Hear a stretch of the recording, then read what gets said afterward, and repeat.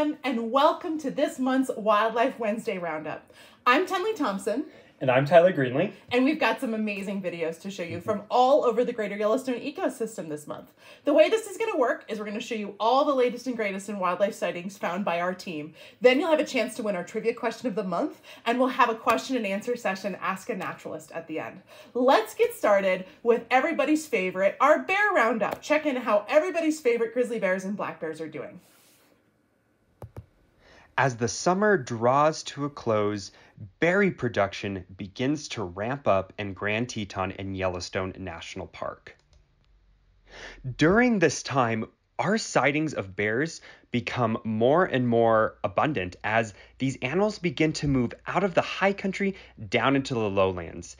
In the lowlands, we have large amounts of service berries, huckleberry, thimbleberry, and other species of berries that the bears are wanting to utilize. Up until this point, the bears have been at higher altitudes trying to find army cutworm moths and pine nuts, which are their primary foods late in the summer, around the time of July and August. Now, we do have two different types of bear species in Grand Teton in Yellowstone National Park. We have the American black bear and we have the grizzly bear. Seen here is a female black bear with her cub. And uh, here's a, another video of them actually swimming in one of the many lakes we have here in Grand Teton National Park. Black bears tend to live in more forested areas. These black bears were seen in a pretty forested area next to this lake feeding on those berries that I just mentioned. Grizzlies are often going to be seen in more open country. This is how the two species manage to live within the same landscape. They actually partition the habitat and they partition based off of their diet. The black bears are feeding more on insects and more on leafy vegetation within the forest, while the grizzly bears, they're taking advantage of those higher protein, those more sporadic events, such as the army cutworm moths gathering under the boulders at high elevations, and then also the white bark pine nuts. Black bears are seen in the lowlands pretty much throughout the summer. They don't go up high into the altitude as much as the grizzlies. The grizzlies, however, are pretty difficult to see in the middle of the summer as they are they are taking advantage of those high altitude banquets. Now, one bear that we do see, one grizzly bear that we do see in the lowlands quite often because she actually doesn't go up into the mountains is Grizzly Bear 399. She actually will spend a good portion of the summer months down in the lowlands feeding on food that isn't as nutritional or doesn't have as high of protein content. Now, the reason she does that is she's trying to avoid conflict with other bears. Uh, but she does pay, pay the price because the food down in the lowlands are is not as rich as up in the highlands, especially when it begins to get dry and hot down here in the lowlands. Now, that behavior is particularly interesting to me because at one point grizzly bears lived across many different types of habitats. Currently in the greater Yellowstone ecosystem, they do utilize the high mountains, but historically they lived out on the Great Plains. And that's really fascinating to me because those really rich food sources like army cutworm moths and white bark pine are not available out on the grasslands. And so I'm curious how these bears managed to survive in an area that was a lot hotter and a lot drier than the greater Yellowstone ecosystem.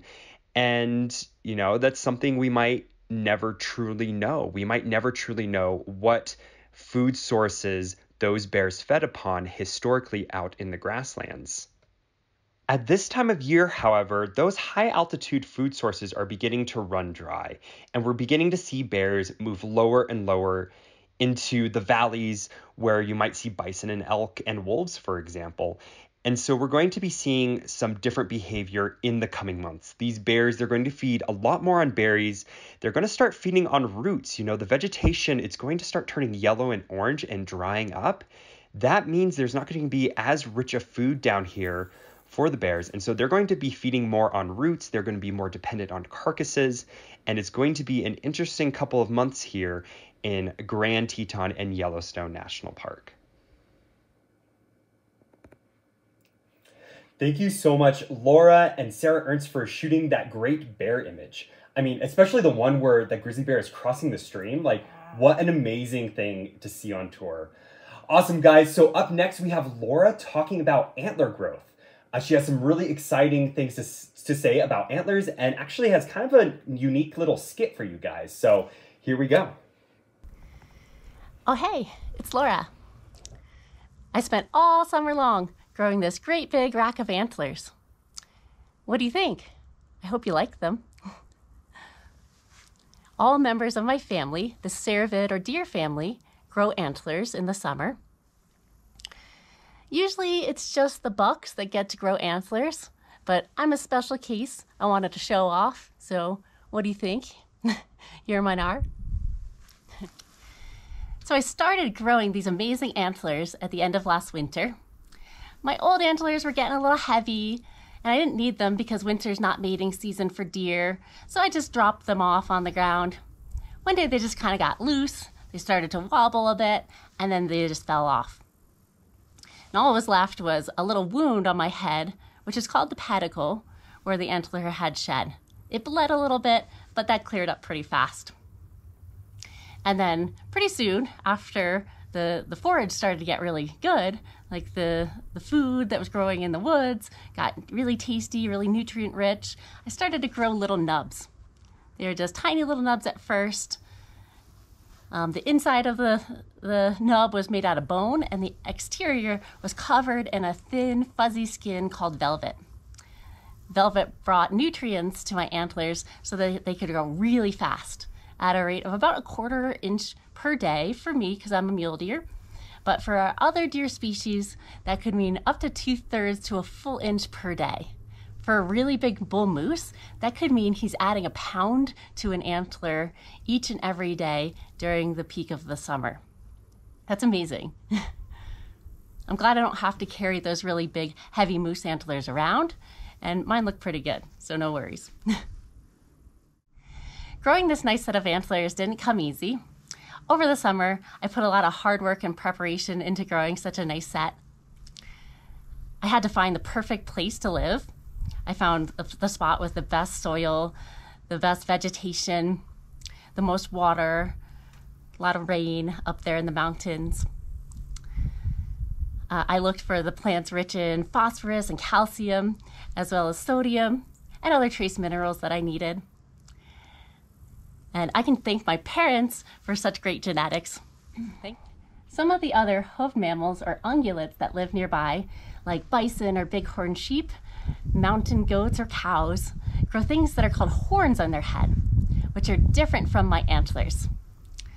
Horns are made from keratin, just like my hair or my fingernails, whereas, of course, my antlers are made out of bone. Horns are usually kept for life, with the exception of the pronghorn, which you know, shed their horn sheath each and every year. But typically, animals with horns will maintain the same horns for their entire lifetime. Those horns just get bigger as they grow up. But for, for deer, around here, mule deer, white-tailed deer, elk, and moose, we shed our antlers each and every winter to regrow a new, bigger, better set for the next summer. In late summer or early fall, antlered animals will rub or scrape against trees or bushes, the ground, or hopefully not you or your car to get rid of the annoying velvet that's coming off of their antlers. Over the summer, that, that velvet housed a system of blood vessels, but as the, the days get shorter, the blood circulation to the antler tissue cuts and the, the velvet starts to come off in long strands, which must be really annoying. and it also corresponds with the time when his testosterone levels are making the jump from zero to a thousand. So he starts to get mad at pretty much everything that moves or doesn't. He's gonna shine up his antlers to look really handsome for the mating season.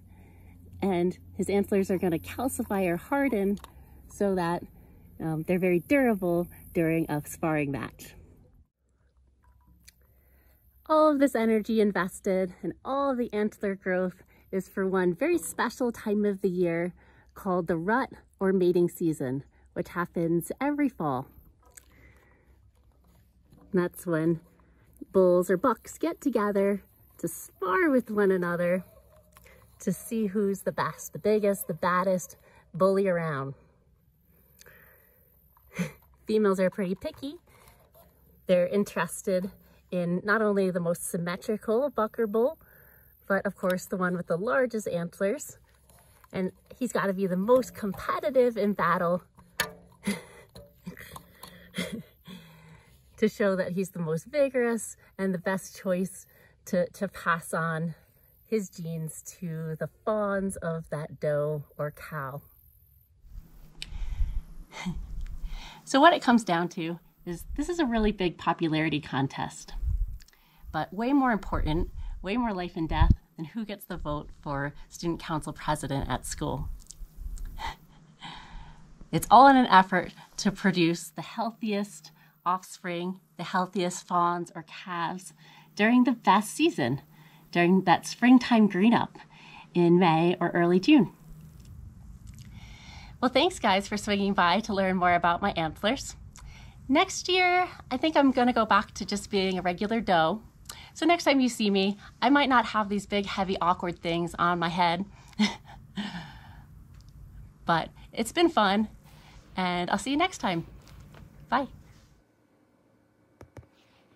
Thanks, Laura, for that great look at antlers. One of the really fun things to see as we get into the fall in this ecosystem is all the great antler activity going on all around. All right, let's get back to predators because who doesn't like predators? And we haven't so really cool. gotten a good look at wolves yet today. We had just a crazy situation happen in Yellowstone that we've been keeping an eye on with a bison and the wolves who came afterward. Let's check in.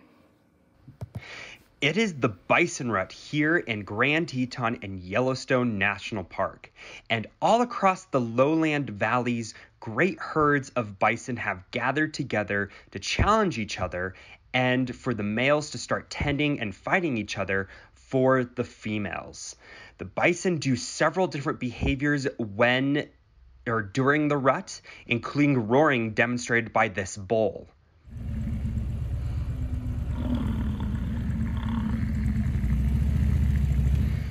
These bison are all challenging each other. They're full of testosterone.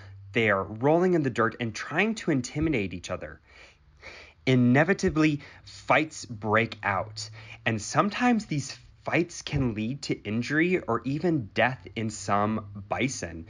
Uh, bison weigh 2,000 pounds. They can easily move a vehicle, and so you know, injury from bison fighting each other is actually pretty common, and the predators are here to take advantage. And last week, I was able to film and witness some wolves actually scavenging from a bison that was killed during the rut. Now, the wolves scavenging from this kill are the Junction Butte Pack.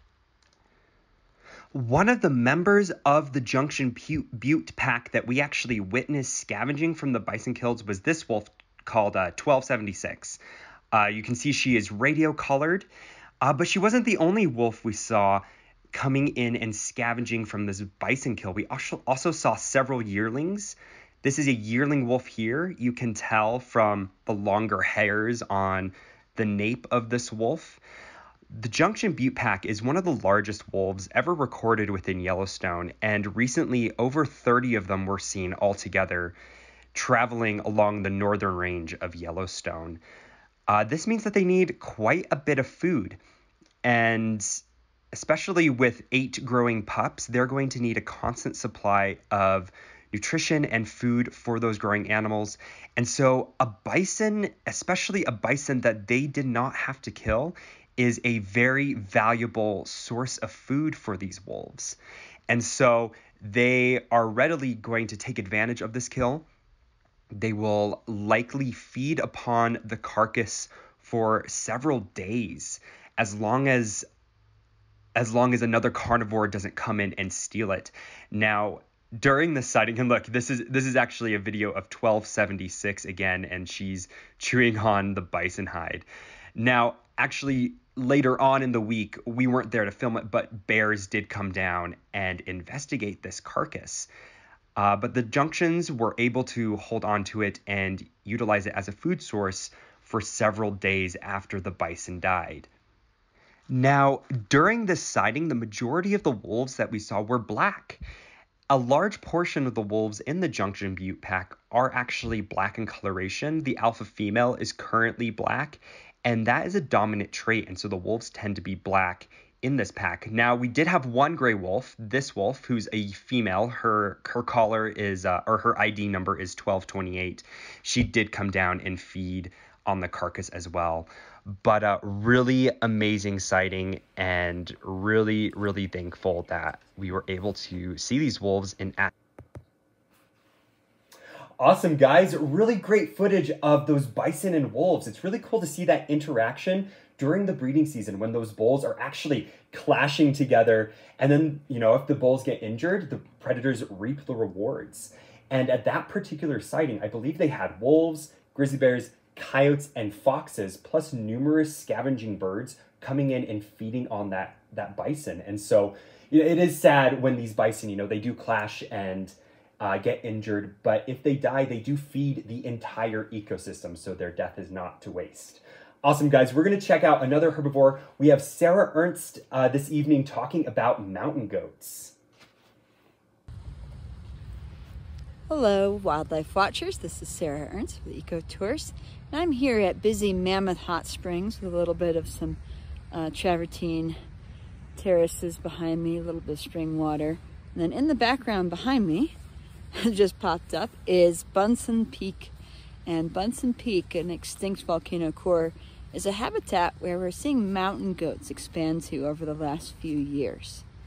Mountain goats are a non-native species to the greater Yellowstone ecosystem as far as we can tell based on the fossil record and the Native American uh, knowledge and the, the diaries of the beaver trappers and gold miners in this area.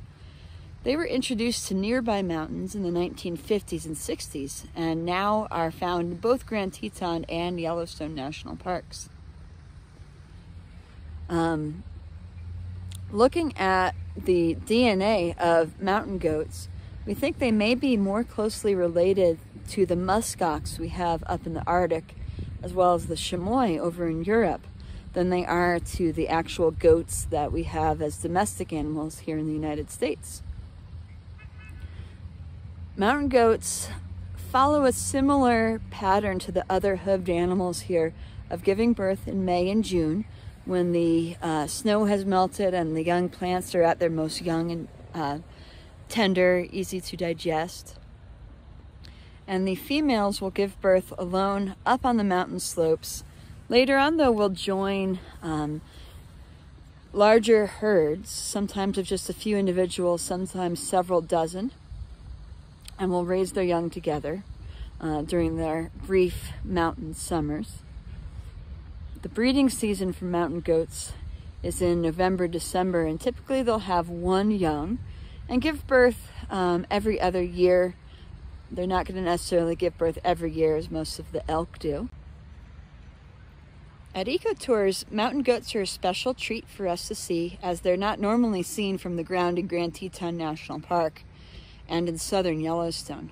Uh, we do see mountain goats sometimes in winter in the Snake River Canyon, and we see them pretty frequently in Yellowstone when we are on multi-day trips, as I am today, uh, along the slopes of the Beartooth and Absaroka Mountains, although increasingly we've been finding them here um, in the Mammoth Hot Springs area on occasion too. We also have bighorn sheep here at Mammoth Hot Springs, both male and female. And the female sheep are often mistaken for mountain goats because they have slender, uh, pointed horns, similar in length to a mountain goat's, one easy way to tell them apart though is the mountain goats are going to be a creamy white, think kind of polar bear white, and the bighorn sheep are going to be a light tan. Although sometimes they will bleach out in the sun and be pretty pale looking, but they won't be that snow white of a mountain goat. This is Sarah Ernst up at Mammoth Hot Springs for Eco Tour Adventures signing off.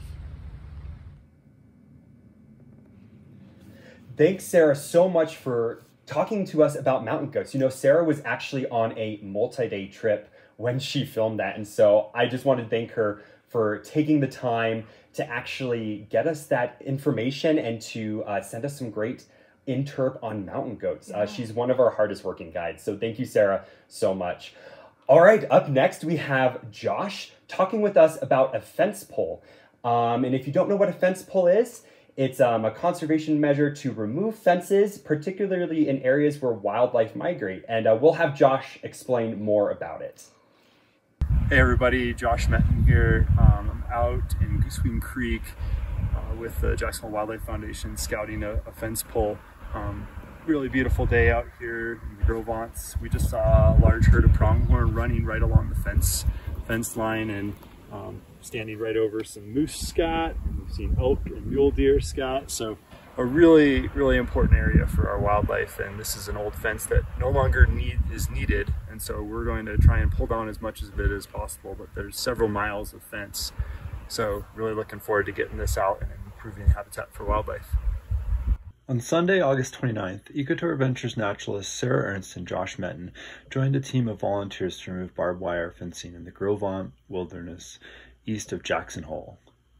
Fencing can be very hazardous to wildlife, impeding movements and migrations, and in worse cases, leading to entrapment and death. That's why we're big supporters of the work of the Jackson Hole Wildlife Foundation to remove unneeded fencing and, where it is necessary, replace it with more wildlife friendly fencing. This project successfully removed about a half mile of fencing right in the middle of critical mule deer, elk, moose, grizzly bear, and wolf habitat. The fencing was also located within the path of the pronghorn migration corridor. For thousands of years, pronghorn from Grand Teton National Park have traveled over 100 miles along this now federally protected migration route to get to Winter Range near Pinedale, Wyoming. Sure enough, during the fence pull, we saw a group of over 20 pronghorn right near the fence that we removed. Want to help support the work of the Jackson Hole Wildlife Foundation? Consider donating now through September 17th via the Old Bills Fun Run. This annual fundraising event partially matches all donations thanks to generous co-challengers, making your money go further. Learn more at oldbills.org. pretty neat to see uh, some of those fences come out of the ground, in some cases for the first time and more than a century. Uh. Big thanks to Josh and also to Sarah Ernst both of our guides who were present there at that fence pull, and Josh, of course, who set that up and created that fence pull, along with a partnership with the Jackson Hole Wildlife Foundation. So we have a big fundraiser out here in Jackson Hole every year. It's called Old Bill's Fun Run, but you don't have to run to participate, and you don't even have to live in Jackson Hole. All of our local nonprofits are members of this event, and the way it works is it's pretty cool. We've got some co-challengers in town, mostly anonymous, who will match any donations anybody make between now mm-hmm. and I mm-hmm. think it's September 14th. So if you'd like to support some nice, cool local Jackson Hole conservation of uh, organizations and charities, you can go to oldbills.org. And the beauty is, if you donate five bucks, for instance, to a local charity, it will be matched and it will be $10 that actually goes to that charity. So, a really good time for local Jackson Hole giving. All right, so that was pretty great. Really fun to see some good things happening out there. I'm sure the pronghorn are going to have an easier time migrating. But it is, of course, time for my second favorite part of the program, which is our trivia question of the month. Now, I have passed the torch of Quizmaster over to Tyler because let's face it, he's oh better boy. at it. he's way better at it than I ever was. Um, but I do, of course, want to explain a little bit about this broadcast and our trivia question. Um, we, of course, offer this program free of charge um, and are just happy to get you guys a little couch vacation to get a chance to see some of the wildlife exactly. out here. Yeah. yeah. Um, but of course, we do have an Ecotour web store, which mm-hmm. goes towards um, supporting our employees and staff and supporting their mm-hmm. benefits, um, helping them directly. 100% of what you would spend at that web store will go to the guides who you see have created this program. So if you'd like to help us out, feel free to hop on our website and check out the web store. We do have a featured item of the week, which is really fun. These are our um, bear beanies created by our naturalist Elise Tonelli, um, who hand makes these. And actually, here she is uh, modeling. Actually, Yeah, there she is. one of the hats. Yeah, so that's Elise. So if you'd like to have one of these of your very own, um, I do know that they've been selling briskly. So we only have certain colors left and definitely available on the website to check out. If otherwise you just would like to support us um, as naturalists and support this program, we'll always accept donations. You can just go right on our web store page, go right to the donations page, throw us a couple bucks. That'll go straight towards everybody's benefits here. Um, at Eco Tour Adventures. We originally started this program in the middle of the COVID pandemic, actually, um, when we weren't running tours as a way to help support guides and continue to have them be paid. It ended up being really popular, and so we continue the program, but we still continue those benefits towards guides who create videos so that you guys can get a little piece of the Greater Yellowstone ecosystem wherever you're joining us from. I've so enjoyed the comment section, seeing where everybody is joining us from uh, this particular month. Super, super fun. I'm a little curious to see who's going to be furthest away by the end of the Oh yeah, it's super. We, I mean, we've had people in crazy places like the UK before, like other countries, South. Africa, Argentina. Yeah. So if you think you can beat everybody in terms of who's furthest away, do let us know in the comment section. But it is time for our trivia question of the month. So we'll start with last month's trivia question. But the way this is going to work is if you correctly answer this month's trivia question, Yes. you'll be entered to win a mm-hmm. gift card to the Eco Tour Adventures store. Maybe you can pick up that beanie made by Elise if you want, or many of our other great products. We um, just added a couple brand new books on the Great Yellowstone ecosystem. One of my very favorites, the Yellowstone Atlas. It's a visual look at migration, um, wildlife density, land use, all the things you'd ever want to know if you want to be nerdy about the GYE. That book just got added. We're about to add Death in Yellowstone because we're going to have a Halloween Death in Such a Yellowstone cool tour. book. It's going and to be I'm super so fun. excited for those tours. They're Yeah. going to be amazing. I know Death in Yellowstone sounds like a super morbid book, and it is, but it's also a really fun book. And it's really, I mean, interesting because it teaches you a lot about the history of Yellowstone. Yeah, so that's going to be up and coming. Lots of art prints, things made by guides, um, Teton pottery, all sorts of things. So definitely check that out. But in the meantime, all right, let's get to the fun part, which is the trivia question. this is first, we're going to start with last month's question. We're going to get you an answer. Go ahead and answer in the comment section if you know the answer to the question. But we've already given out the gift card for this one. Yes. Then we're going to do this month's trivia question. And there's two parts. There is the first part, which gives you one chance to enter. And then mm-hmm. there's a bonus question for you smart Alex out there who tell us our trivia questions are too easy. And that will also give you a chance to enter a second time and get two entries in for that gift card. All right, Tyler, take it away.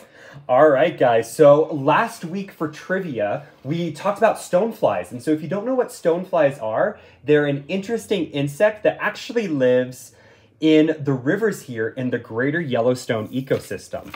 Uh, we have a couple different species. These are two species shown, a salmon fly and a golden stonefly. They live for quite a couple of years in the river and then they emerge. You can see here, you actually, they have carapaces, which is their exoskeleton, which they crawl out of, and then have um, wings in their adult form. And at this time, well, in July, so we're a little past the season, but in July, you can actually see large swarms of them flying up the rivers, mating, and then dropping their eggs. And they're a really important food source for many riparian migratory birds um, and a lot of fish. And they kind of correspond right after the cutthroat trout spawning season.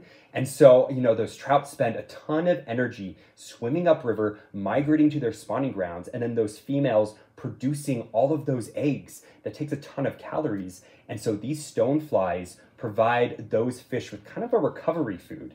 And so we're always excited to see them on tour. Last week's trivia question, which in the comment section you can still answer um, if, if you want to, uh, before I give away the answer, Yeah. was um, how long do adult stoneflies live? So this isn't the entire life cycle. This is just once they emerge from the water, how long do adult stoneflies live? And then the bonus question was, what are the three main types of stoneflies we have in the greater Yellowstone ecosystem? So if we didn't stump you with that second question, which I definitely did not know the answer to, um, I can see defeat. If Don Meyer, if you're watching tonight, if, man, that's a tough one. Give us some Yeah. credit. That was not an easy question.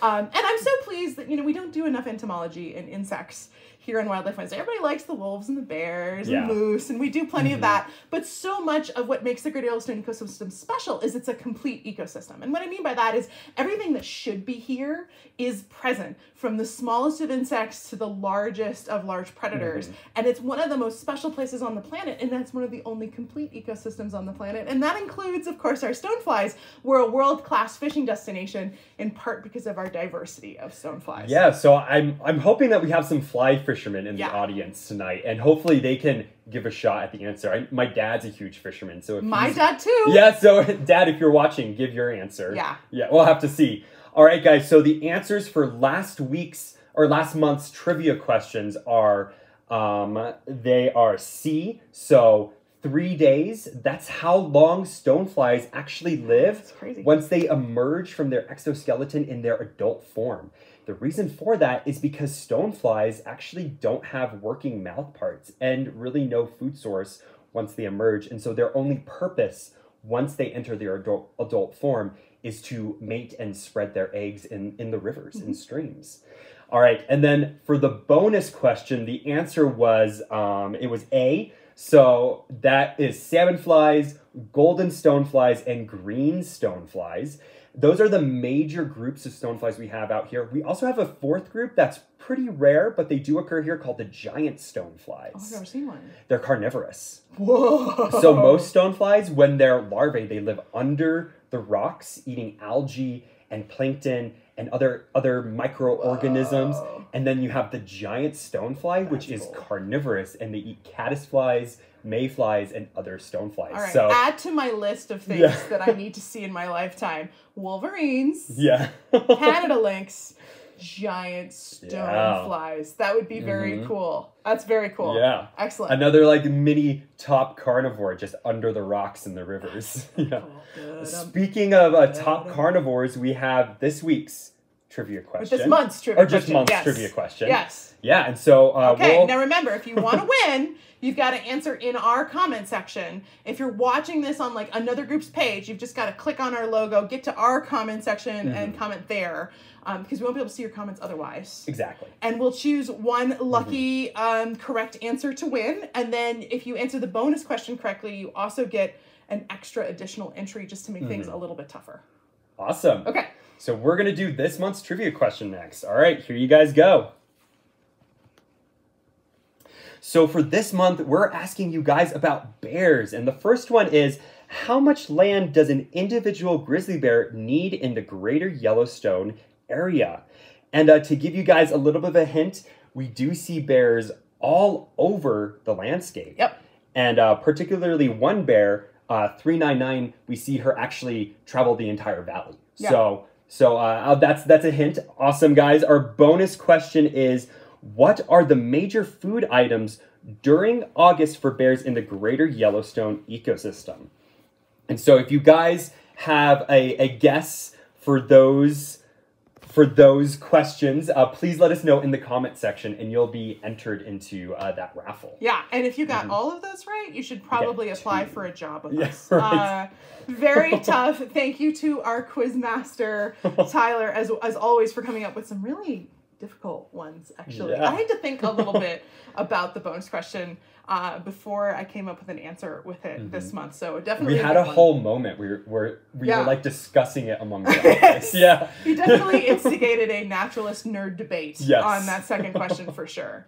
All right, so it's time, I think, for my favorite part of the program, which is we, Tyler and I, are here to answer your questions live. So if you have a question for a naturalist, um, or somebody in your household does, kids are certainly welcome with their questions as well. Um, although, do let us know because sometimes our answers can get a little verbose and we want to make them age appropriate. But um, definitely just ask us in the comment section anything about the Great Yellowstone ecosystem, about North American wildlife, about ecology, like anything about biology, you know, the natural world, we'll do our best to answer if we know if we know the answer, which we Yeah. know. And if we don't, Yeah. we'll look it up. We'll find out. We'll let you know in the comment section. that does happen. You guys can stump us on occasion. but the beauty is, I'm so happy I have Tyler with me now because everything um, that he knows that I don't know will definitely be to all of our advantage for sure. So if you've got a question, go ahead and ask us in the comment section. If you see us looking down, um, it's because we're looking at our iPad where we can actually see your questions pop up live. So we're not being rude. We're just checking through, and we'll go in the order in which they were received. All right, everybody ready? Yeah, Okay, let's let's do do it. this. Let's see what we've got here. Ooh, oh my gosh, so many trivia Oh, yeah. answers. And a lot of correct trivia answers. You smart cookies. Let's see here. Let's see here. Ooh, this is a good one. Yeah. All right, so uh, yes, at this time of year, we're beginning to notice the cervids within the landscape actually beginning to lose their velvet. And so, if you don't know what velvet is, it is the epidermal layer that grows on the outside of antlers when the bone is actually growing. So, deer lose their antlers every single year and regrew uh, regrow a new set. And only the males have antlers versus in bison and bighorn sheep, both the females and the males have ant or have horns. Yeah. That's the Yeah. nature of antlers. is Only male have them. Although trivia question. Yeah. Name name the only antlered animal in the world in which the females have antlers. Do you know? No, I do know.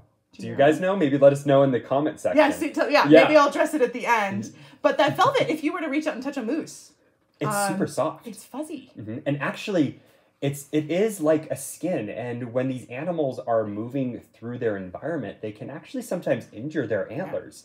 It is delicate when it's growing, and sometimes you'll see moose or elk with like cuts or abrasions just from maybe they got spooked by something and they crashed through the undergrowth and nicked their nicked the skin on their ant- antlers sometimes. Yeah. And so it is pretty delicate. Um, eventually, at this time of year, those the, the skin, the velvet, does begin to die and dry off, and at that point, it's not going to hurt the animal anymore, and they begin to scrape it off on trees and sticks. I've read that the what they do first is they find the coniferous trees and they scrape their their velvet off on the coniferous trees first, and it kind of dyes it, kind of like a brownish, Yep. like pitch-like color. And then what the, the males will do is they'll go around and find deciduous trees, so like cottonwoods and aspens, and they'll polish the tips and make them nice and pearly white. Wow. And the females actually prefer males with polished antler tips Well, there you go. Mhm. I, I love it. Polished antler tips are what's what's happening in the animal in the animal antler worlds. So all those lady elk out there, that's what they're looking for. Peacock feathers. psh, What what those elk want, man? They want polished exactly. antler tips. Pretty cool. All right, All great shiny. question. Let's see here. What else we got here?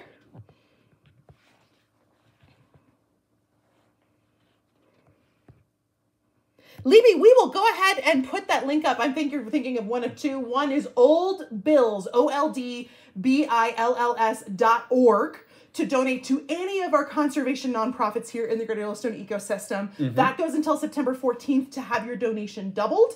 And that's the Community Foundation of Jackson Hole that will take care of all of that, including transactions and everything else, mm-hmm. transaction fees, credit card fees, what have you. So 100% of your money doubled goes towards those nonprofits, mm-hmm. including the Jackson Hole Wildlife Foundation, who was uh, the the organization that was working on that fence pull and does a lot of fence pulls around uh, Jackson Hole. We do, as staff, we do a fence pull every year with them. We love to do that.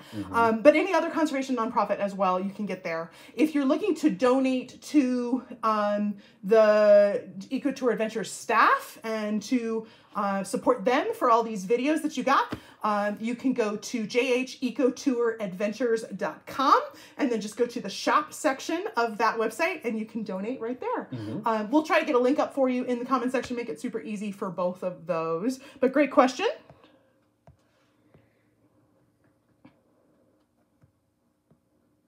Let's see here. Man, all these all these trivia question answers. There's definitely some debate, which There's- makes me yeah. feel better. We guys asked you maybe a little more of a stumper than I thought. That's always good. I'm seeing lots of right answers. Christine, this is a great question. Is the barbed wire repurposed? It depends a little bit on the condition of the mm-hmm. barbed wire and if there are people who'd like to use it. So, Jackson Wildlife Foundation is certainly willing to do that for everything from art projects um, to all sorts of things, actually. If you're interested in having some of that barbed wire, contacting them is a great way to start. They have more than they know what to do with. If they can't find a use for the barbed wire or the barbed wire is in very poor condition, then that barbed wire will be recycled. Um, but they don't necessarily make a decision until they get out there, get a good look at the condition. Yeah, and you know, some of these fences have been out there for a very, Yeah. very long time, and, just kind of a so the and I've actually participated in the yearly fence pull that we do, and different sections of fence are in different conditions. Some of it's definitely usable, and then some of it is definitely like twisted and gnarled, and it's even hard to like wrap it up in the wire bale. So like it it really does depend on the condition of the wire. Yeah. But yeah, ab- absolutely. Um, you know, reduce, reuse, recycle whenever possible. Um, some of this stuff, you know, was put up in the 80s and some of this was put up in, you know, 1915. So it just it depends a little bit on the condition out there. Uh, but great question. Thank you very much for that. Let's see here. Ooh, I'm seeing some right answers on the deer question. Let's see here. Yeah. Oh, we have a winner. So oh, here we go. Michael, you're so smart. Female reindeer. So the question I was asking earlier, what is so the nature of an antler is it's a bony projection from the head that branches or prongs and only males have them. So anywhere in the world you go, if you see a bony projection from the head that branches out, right? It's going to be an antler and you'll be sure that the animal you're looking at is a male. The only exception to the rule hmm is reindeer. Yeah. Also known Female as a reindeer. caribou. Yeah, caribou. Mhm, Yeah, caribou exactly. in North America. Yeah, I think we were talking over the Christmas season last year. I learned something new. There's like 27 different variations of reindeer. There's and caribou. quite quite a few, and they range in size. So like on on the Canadian archipelago, there's a type of rain or caribou called the Peary's caribou, and they're super small. Yeah. They're kind of they're kind of dwarf caribou, and they are almost pure white year round because they live so far north that summers are so short that it's better for them not to waste the energy changing their color to brown in the summer and for them just to be white year round. crazy. It's crazy. Yeah. And then the caribou, I think that most people are familiar with would be uh, the barren ground caribou, which are the ones that make the mass migrations. You know, millions of animals trekking thousands of miles across the Arctic tundra. Uh, you can see see videos of caribou migrating from like planet Earth. Yeah. Doc- the documentary. Yeah, great stuff. Mm-hmm. And just a side note, because I just have fun with this. Every depiction I've ever seen of Santa's reindeer, they all have antlers. Yeah. Funny thing is, male reindeer actually shed their antlers in November, Mhm. and the females keep their antlers until early January, which says to me, from a biological perspective, that would imply that all of Santa's reindeer are female. Rudolph was a male or female. Rudolph was maybe a girl. Rudolph was Um, maybe a girl. However, who knows? Those animals are moving so fast Yeah. during the Christmas season. Maybe they're just mistaking antlers. It's hard to say. It could be a mixed group. But I'm just saying, for the record, if you're wondering, maybe Santa's reindeer are female. Um, by the way, if you're wondering, there's two types of bony projections that we commonly see from the head. I'm not talking about um, like rhino horns now. I'm talking about horns and antlers. So a horn, bony projection from the head, both males and females have them, and they don't branch or palm, right? They're one solid piece. Oftentimes they can be made of, of keratin, same stuff your hair and fingernails are made out of. Antlers, bony projection of their head that does branch or prong. Only males have them, with the exception, of course, of reindeer. Exactly. Uh, and they're usually made of bone. So if you want to be nerdy and know the difference between horns and antlers, anywhere in the world you go, that's going to be true. Pronghorn antelope are a story for another time. They're like their own class. They're- they're of, like a whole nother thing. So They're just uh, they're bizarre in so many ways. Yeah. Biologists love to put things in boxes, and the pronghorn antelope just doesn't fit in any any boxes. box. and that includes the horn and antler box. So that's a story for another time. But great question. And there's a very specific reason why caribou females actually have horns in the winter. No. They actually usually it's pregnant females Yep. That have horns, and they keep the horns so that they can compete with the ma- or the antlers. Antlers. So that they yeah, sorry Using guys. myself. Antlers. they have antlers so that they can fend off the males when competing for like sparse food resources. Perfect. Sweet. Oh, Bill. Right next to this one is 10 have you spotted an Eskimo Oh yet? gosh. No, I haven't. I haven't. Uh, for those of you guys wondering, we do have long billed curlews here in the Great Yellowstone ecosystem. Eskimo curlews, which are thought to be extinct, um, look really similar to the point where I'm not sure I could tell them apart. And I had an ornithology professor in college who told me that if there were still Eskimo curlews existent in the world, they would be in Grand Teton National Park. So I'm obsessed with the idea that I'm somehow going to rediscover the Eskimo curlew. I, it's kind of looking more dim every year, but So, it's going to happen, guys. It's going to happen. I read about these birds actually a couple days ago. yeah. And their official status, so if you go by the IUCN red list status, there's like endangered, threatened, critically endangered, extinct in the wild. They classify the Eskimo curlew as critically endangered. They Oh, don't they don't say ex- they extinct. don't say extinct. Oh, interesting. The U.S. Fish and Wildlife Service does say Mhm. extinct, but um, interestingly enough, the International Union um, actually surpasses that in terms of authority. So, Mhm. all right, maybe there's a chance, guys. And they live and nested in incredibly remote areas. They nested on the Arctic tundra. Yeah. And the reason they went extinct was mainly because of hunting. Yeah. And they were hunted mainly on migration. They migrated in large flocks, kind of similar to the passenger pigeon. And so they were easy to track and follow and to harvest large numbers of them. Yeah. They also nest in large colonies. And so they're particularly susceptible to a population drop. Yeah. Because if their population drops, then their, their reproductive success also drops. Um, but they did nest in end winter in very remote areas. Um, on the grasslands in Argentina is where they winter, and then the Arctic tundra in Canada and Alaska is where they spent their summer. So Yeah. who knows? But it's the time of year yeah, where where they're if they were to through. pass through Grand Teton, they'd be here. Guys, I'll see if I can't get a picture, like a drawing of an Eskimo curlew, because of course we don't have a photograph. yeah, and an image of a Mhm. long-billed curlew for you guys in the comment section so you can compare for yourself and see um, if you'd be able to tell them apart. But it's gonna Yeah. happen. It's gonna happen. I feel Not like up hope. with these, so we have a couple extinct birds in North America. We have the ivory-billed Mm-hmm. woodpecker, Carolina parakeet.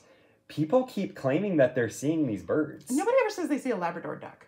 Or a great auk. No, nobody's claiming to Those- see a great auk. Those we're like pretty sure are gone, but but the ivory-billed woodpecker and I feel like we're missing one. Aren't there five species of There's the heath birds? hen.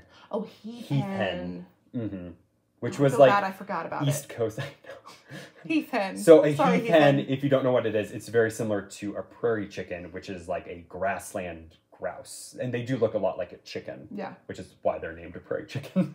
It's funny. On the one hand, it's so sad that these animals are likely gone forever. Um, you know, ivy-billed woodpeckers are pretty awesome too. so On the other hand, I find it actually, I don't know, if you were just to approach this, isn't it remarkable considering the diversity of birds we have in North America that we only Mhm. have five extinct species? There's probably more. And I think there's another one. know. Am I missing There's a one? warbler, but I can't remember its name. Oh no. Yes, recently extinct. Recently, Mhm. like It's 1982 really, or yeah, 84, they declared really it extinct. recently. Oh gosh, Mhm. I can't remember. I, I can't remember its All right. Eco Tour guides, if you are watching this live, please do comment in the comment section and tell us which warbler it is that has gone extinct. Um, Yes. Charlotte Catalano, one of our great bird experts, although Mhm. Tyler is one too, is probably going, "Oh my God, you guys! I can't believe you don't know "Ah." this." Yeah. um, so comment in the comment section, remind us which warbler it is. Oh God, it's going to come to me in two seconds. I know. It's killing I me. can't All right, think of it. I can like picture what it looks like also in my it's head. It's coming to me. It's coming to me. Uh, all right, let's see here. Oh, lots of reindeer answers. Awesome, guys. Um, Lynn, this is a great question. When, where are the antlers picked for the Jackson Town Square? Mm-hmm. Really good question. So the original antler arches were constructed in the 1950s by the Jacksonville Boy Scouts. Um, so if you aren't familiar, the Jackson, Wyoming is in the southernmost part of Jackson Hole, and the National Elk Refuge is also in the southernmost part of Jackson Hole. The two um, butt up right next to each other. And elk traditionally have migrated to the southern end of the valley because it gets the least amount of snow uh, for about 100 miles in every direction. And so if you're going to dig under the snow to find food, you want to go where there's the least amount of snow possible. Um, we can get up to 50 feet of snow in Yellowstone in the southern aspects in the winter. To migrate or die. So the elk refuge then Yeah. becomes what you need to do. Um, the elk began to struggle early on in the last century, primarily because of overhunting, but also because we began to put a bunch of cattle out on the landscape who ate all of the grass that the elk relied on all winter, but they ate it all summer. So the elk would show up to their winter range for the winter, the cattle had been no food. grazing on it, and they'd starve to death. Um, so a supplemental feeding program was started, and the National Elk Refuge was created to help these elk survive the winter. But starting in the 1950s, they started, um, they stopped feeding hay which, long story short, sort of side note, wasn't really very good for the elk.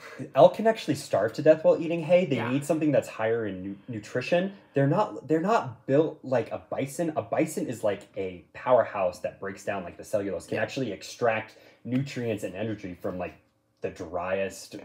of grass. Elk can't do that. yeah, No. elk need elk need better food, and actually, the smaller the herbivore you go, the better food you need. Yeah. So like deer need even better food than elk. Do. Yeah. So they're feeding hay because they thought, well, that's what the cows are eating. We want to help out the elk. It was it was well meant, but um, one of the great naturalists of American history, Olaus Murie, came to study this actually after studying the caribou in Alaska and realized that it was actually causing necrotic stomatitis. These small scratches in their gums from the stiffer forage were causing these fatal infections. And They might have been doing more harm than good feeding them hay. So they went ahead and they switched to alfalfa, um, eventually to pelletized alfalfa, which kind of floats up on the snow and makes it a little easier for them. But they had to start using modern tractors to distribute that kind of a food product. Well, they went out there to feed the elk, and the tires ran over those antlers that had been building up Gosh. for a very, very long time and popped them. And so they needed to get the antlers off the landscape. Now, antlers do serve a purpose. They're an important calcium source, particularly for rodents.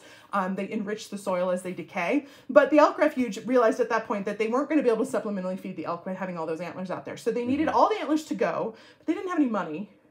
So they needed a whole lot of free labor.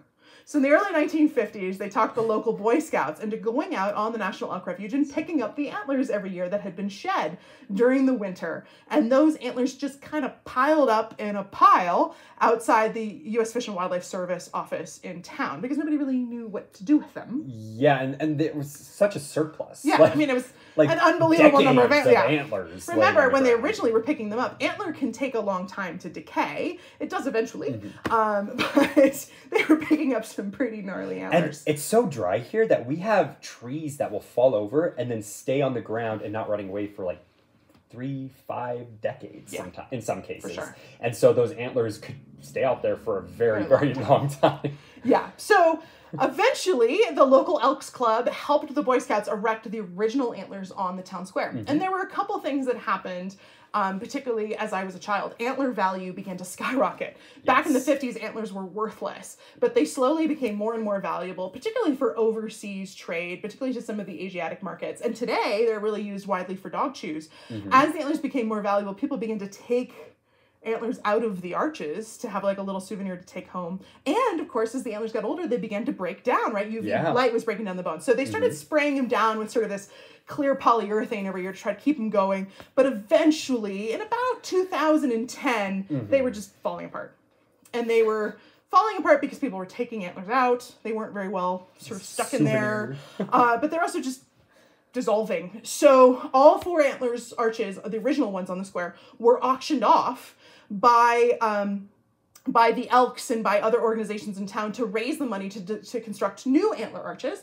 The all four antlers have since been arches have been reconstructed. They're bigger than they used to be. They have a steel superstructure and they're um, wired in, so you can't just You can't just like take one. yeah, because they're way too valuable now. Yeah. Um, if you think it's not uncommon for antlers to go for what twenty seven dollars or so a pound during the antler auction, sometimes more, Mm-hmm. and you know a big pair of antlers that could be oh almost forty pounds of antler. Mm-hmm. So it could be a very valuable thing to just pull an antler out of the square. And actually, there's almost like a whole industry in Jackson Mm-hmm. where at a after May 1st, which is the legal time where you can go and collect antlers, people will go into the national forest, not the national park. You can't legally take anything from the national park, but in the national forest, people will go out and go at antler collecting and will gather as many pounds of antler as they can, and then they'll sell it. Yeah. Antler's pretty valuable stuff. I, I know some valuable. folks who go out and spend two weeks collecting antler and they don't have to work the rest of the year. They make enough money. Mm-hmm. They live frugally, but they don't have Yeah. to work the rest of the year. So the modern day antler arches are constructed on the square out of modern antler that was collected from the National Elk Refuge. There is an antler auction every year during Old West days in the spring. However, this year it's going to be in the fall because of COVID. It's coming up, I think, in like two weeks. Mm-hmm. And some soon. folks bought antler at auction and then donated it towards the Antler Arch project. Many Mm-hmm. thousands of people contributed, and we have four brand new antler arches on the square. They're beautiful. However, trivia, if you want to see one of the originals in Jackson Hole, you still can. The Rustic Inn did buy one of those original antler arches at the original auction, and they do have it near Um, they have it on their property, Oh, just as you're heading into Grand Teton National Park, kind of right near the pool. You know, I've always, I actually didn't know that. So Oh, okay. I've always wondered because I obviously there's the four around the square. Yeah. But then almost every tour, I would drive past this one arch that Yeah. was at the Rustic Inn. That's why it's there. and I was like, I just thought it was like a normal. I didn't realize it was the original. So well, and good on the Rustic because it's so falling I've, apart. I've learned something tonight. Yeah. Cool. I don't know how long the one at the Rustic's gonna last. Yeah. It's falling apart. But if you visit us in Jackson, go see those antlers. And please, when you see people on the square saying, oh my gosh, I can't believe they murdered all of those elk, do remind the friendly folks. Uh, on the square, antlers are shed every year by the elk. Mm-hmm. Um, uh, 80% of the proceeds of the antler auction goes back to improving elk habitat, goes to the U.S. Fish and Wildlife Service on the elk refuge. The remaining 20% goes to the Boy Scouts. The Mm-hmm. vast majority of that is used just to hold the auction, put up the tents and get the auctioneer and all that stuff. However, they are the wealthiest Boy Scouts in the United Yeah. States. They get to like go to Europe and stuff. That's it's awesome. cool. So great question. Thank you for that. Um, let's see what else we've got here. Bethany, she says, I want to know about the barbed wire. Why was it left behind? It, it wasn't. They took it. Um, we're not going to leave barbed wire out on the landscape. Um, those fence posts and that barbed wire was removed. Um, as for why was it there, it was originally land that was grazed by cattle, and then the Goosewing Ranch decided that that was important wildlife habitat and gave permission for it to be removed. Great was stuff. It probably utilized anymore? They probably weren't grazing cattle. And a lot of places in Grand Teton National Park, historically, they were owned as ranches, and cattle were grazed in Grand Teton National Park. So we have a lot of old historic fences that are no longer being used. But it takes a lot of manpower to actually remove a fence. And so instead of removing it, sometimes they're just left there until a nonprofit or the Park Service comes by and picks up those fences. Great question, though. Let's see here. Libby, thank you for posting that oldbills.org. Certainly appreciate it. Let's see here. Don says old old wire looks good around barnwood frames. It looks great It around does. barn, barn uh, barnwood frames. That's fantastic. Let's see here. Mark, this is a great question. Um, I just tuned in and wondered what fall festivities are planned for Jackson Hole and guests. Mark, we definitely are still having some of our great fall. Um, we're sort of famous for all our fall festivals here in Jackson Hole. We are doing them very carefully. So, Yes. uh, probably the most famous would be the Fall Arts Festival. That is still going on, including the Quick Draw. Um, I don't. I think the gallery walk is also going on. If you go to the Jackson Hole Chamber of Commerce website, they're the ones who put the Fall Arts Festival on. You'll get a full list of the events over the whole two week period. Um, and get an idea of what's going on. But it's going to be a more socially distanced, masked up, more outdoor celebration than historically it has been. But the good news is that we are definitely still having Fall Arts Festival. I can't wait. One of my favorite times of year. I've to go and see. actually so I moved to Jackson during COVID, so I never got to experience it. Yeah. So I'm super excited It's about gonna be really all fun. the fall festival so stuff. definitely check that out. Like I said, our old West Days celebration, including the antler auction, has been moved to this fall. So we're actually going to have our spring celebration now in the fall. So you can come out and see the antler auction, which is really fun. There's a whole lot more to the antler auction than antlers. Anything anybody finds out in the wilderness. Um, You can set up a blanket on the town square and sell it. A couple years ago, I found um, this guy had a a tree log with like a bighorn sheep horn like Oh my god like stuck in it. It was really really neat. All sorts of beautiful things, um, beautiful jewelry, all sorts of just stunning stunning stuff. Um, for those of you guys who don't know, elk their third molar is actually made of ivory. Um, and ivory jewelry is also an option there for that. So pretty cool. We've um, got a few. Yeah, People's Market is still going on. Farmers Market is still going on, including the big um, elementary school pumpkin sale is still, I think, going to be a thing. Um, obviously, we're keeping an eye on things as the Delta variant surges. We want everybody to be safe. Some events that were planned are being postponed or being kind of downsized. Definitely, the Chamber of Commerce website is your best friend on this for up-to-date information on you know as conditions change what we're doing what we're not doing but definitely the wildlife's still out there the wilderness is still out Yeah. there if you're planning to come and visit you can come hang out with us come Exactly. on a tour right definitely worth checking out elk and Yeah. bears, and you know it's fall, bear season. yeah, it's bear the season. is- best time of year to see them. So very cool. Let's see here. Oh, Don! Wow, Oh, whoa.